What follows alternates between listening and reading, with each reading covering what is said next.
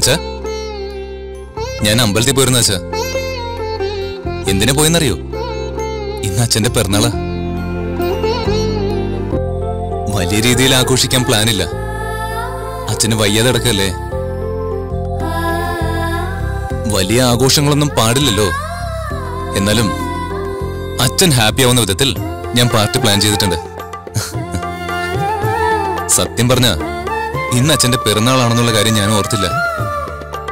ഈ വീട്ടിലെ എല്ലാ വിശേഷങ്ങളും ഓർമ്മയുള്ള അച്ചാച്ചൻ പോലും. തിരക്കിനിടയിൽ ഈ കാര്യം ഓർത്തില്ല. ഇന്നലെ രാത്രി അമ്മയെ വന്നെന്നെ ഓർമ്മിപ്പിച്ചത്. അമ്മ ഇതെല്ലാം ഇപ്പോഴും ഓർത്തിരിക്കുന്നു. അച്ഛന്റെ ബർത്ത്ഡേ ഓർത്തെടുത്ത് എന്നെ അറിയിക്കേണ്ട കാര്യം അമ്മയ്ക്കില്ല. എന്നിട്ടും അമ്മ അത് ചെയ്തു. വയ്യാതെ കിടക്കുന്ന മനുഷ്യന് മക്കൾ അമ്പലത്തിൽ പോയി എന്തെങ്കിലും വഴിപാട് ചെയ്യട്ടെ എന്ന് കരുതി പറഞ്ഞതാ. വേറെ ആരും അച്ഛന്റെ ബർത്ത്ഡേ ഓർത്തില്ല. അമ്മ മാത്രം.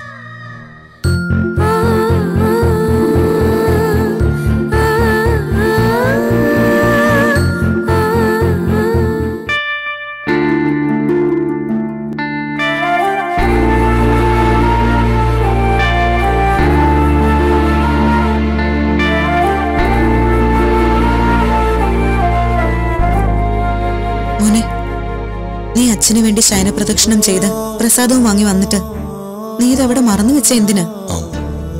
അച്ഛന്റെ ബർത്ത്ഡേയുടെ കാര്യം എല്ലാവരോടും സംസാരിച്ചപ്പോ ഇതവിടെ വെച്ചിട്ട് മറന്നുപോയതമ്മേ. നിന്റെ അച്ഛനു വേണ്ടിയല്ലേ ഈ വഴിപാട് നടത്തിയത്? വഴിപാട് നടത്തിയാൽ മാത്രം പോരാ. പ്രസാദം തൊട്ടുകൊടുക്കണം. എന്നാൽ അതിന് ഫലം കിട്ടുമോനെ ദാ തൊട്ടുകൊടുക്ക.